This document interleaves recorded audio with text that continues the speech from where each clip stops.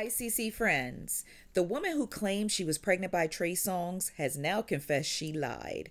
Brittney Jones, an adult entertainer, says she was involved with the R&B star and thought they had something special. That is until he popped up on Instagram with Lori Harvey and had her manicured feet in his face. But rather than collecting her L and going on about her business, Brittney took to the streets of social media claiming she was pregnant with Trey Songz's child and went as far as obtaining a fake sonogram photo to provide fictitious receipts. She also posted a photo of prenatal vitamins, which really isn't a big deal because a lot of women take those just to grow their hair and nails.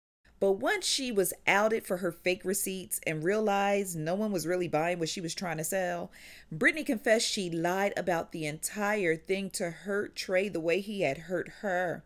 She confessed in a DM to another blog site I confess I'm not pregnant. I wanted him to hurt the way I hurt when he told me it was over after all the lies he told.